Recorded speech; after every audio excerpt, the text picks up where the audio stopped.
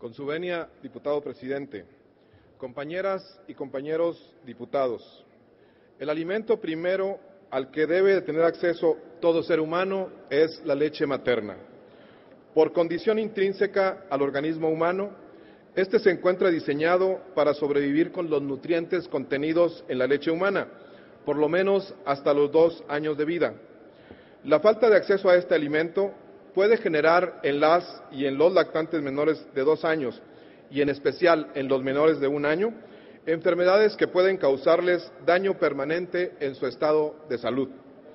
Las mujeres poseen la capacidad esencial de alimentar a sus hijos e hijas con la leche que emana de sus senos y se sabe que esa leche materna contiene más de 500 diferentes sustancias que las fórmulas lácteas infantiles no llegan a contener en su totalidad aún siendo adicionadas por la manipulación industrial de la leche de vaca, de oveja o la leche de soya, lo cual la convierte en un alimento insustituible para el ser humano en su estado de lactancia. Entre los elementos que componen la leche materna se encuentran las inmunoglobulinas, los factores inmunomoduladores, y antiinflamatorios y enzimas digestivas, las cuales proporcionan información para la generación de anticuerpos en el sistema inmune del niño o de la niña. Está comprobado que la leche materna proporciona una gran cantidad de anticuerpos que ayudan a la maduración del sistema inmunológico y a la generación de anticuerpos propios del menor que le permiten desarrollar las condiciones necesarias para protegerse contra enfermedades infecciosas graves y contra algunas alergias. La Organización Mundial de la Salud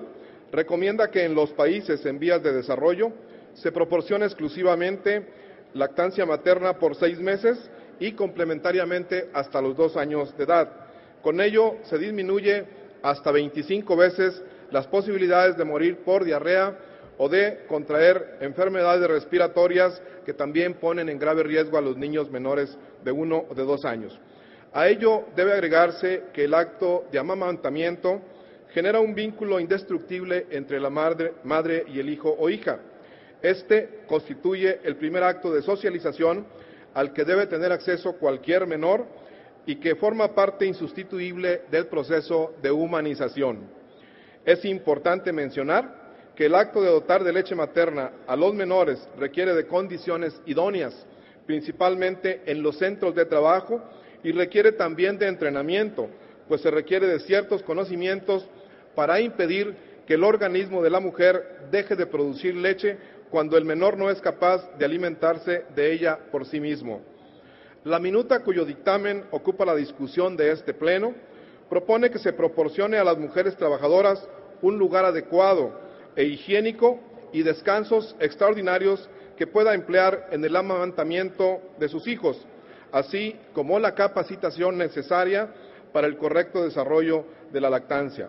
Los diputados del Grupo Parlamentario del Partido Acción Nacional votaremos a favor de este dictamen por considerar que obra en defensa del derecho de la vida, de la familia y de la dignidad de las mujeres y de la persona humana. Es cuanto, diputado presidente. Muchas gracias.